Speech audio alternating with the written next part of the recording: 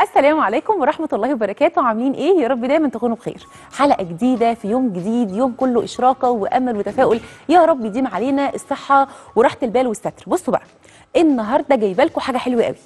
تغيير مش منتشرة كتير مننا ما يعرفهاش. أكلة جميلة أنا أول مرة أكلتها أكلتها عند واحدة صاحبتي وعجبتني قوي. بصي هي مش أكلة قد ما هي. بقول لكم إيه إحنا هنعمل النهارده آه، خبز الفوكاتشا. خبز الفوكاتشا من أحلى أنواع الخبز. هو شبه البيتزا جدا وهو من المطبخ الإيطالي. هقول لك دلوقتي حاجات كتير عنه وبجد لما تجربيه يعني بجد هتدمنيه. حلو قوي. وعايزة أقول لك قد إيه هو سهل وبسيط وطريقته هايلة ومقاديره بسيطة. يلا نشوف المقادير وبعدين هنروح على طريقة التحضير. عشان نعمل خبز الفوكاتشا الإيطالي هنحتاج أول حاجة البوليش اللي هو التخمير. هنحتاج علشان نعمل التخمير إيه؟ كوباية وتلت من المية الدافية. هنحتاج لمعلقتين صغيرين معلقة يعني من الخميرة الفورية.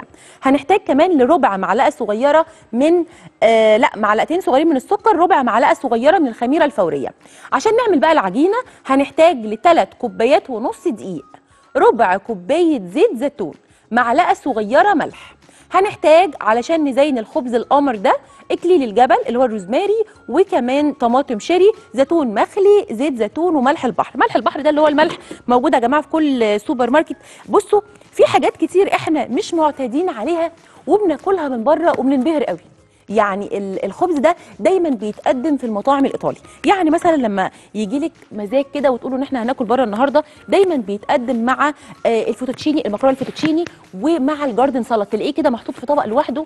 وعايزة أقول لك إن هو غالي مش رخيص رغم إن المكونات زي ما انت شايفة شوية دقيق شوية ملح شوية سكر مقادير بسيطة جدا والنتيجة هايلة. أنا عايزة قبل ما نشتغل أوريكي النتيجة والنتيجة دي كمان هنطلعها مع بعض على الهواء بصوا يا جماعة دي نتيجة الخبز اللي إحنا هنشتغل فيه النهارده.